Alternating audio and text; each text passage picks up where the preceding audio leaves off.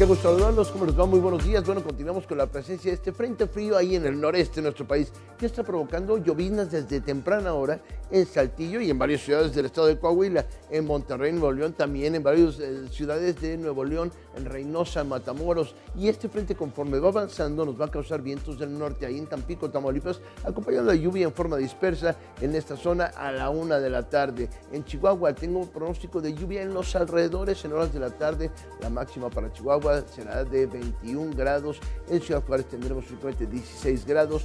Torreón, Coahuila, ahí se van hasta 28 grados. El puerto Jarocho, el puerto Veracruz, también la presencia de los vientos del norte, ese fenómeno eh, muy característico de esta temporada, con 28 grados y los vientos estarán soplando con intensidad de hasta 57 kilómetros por hora, con posibilidades de lluvia dispersa. Al interior del estado de Veracruz, lluvias en Jalapa, en Orizaba, en Córdoba. Nuestra Ciudad de México baja el termómetro respecto al día de ayer. Hoy pronóstico de 25 grados y tengo 40% de probabilidades de que llueva en forma ligera, dispersa, aislada después de las 4 de la tarde. Estas son bajas las probabilidades, pero quiero comentárselos, no nos vaya a sorprender. En Guadalajara, Jalisco, 31 grados. Monterrey, ya lo dijimos, 17 grados. Temperaturas altísimas. Tapachula va a reportar 37 grados. La Blanca Media, 35. Cancún y Cozumel, 29. Centro del país, Aguascalientes, 30. León, Guanajuato, 31. Querétaro, 31. En San Luis Potosí, 24 grados. Y en el extremo noroeste, ahí en Tijuana 21 grados, Mexicali 27 grados, Hermosillo 33 grados. Que tengan muy buen día.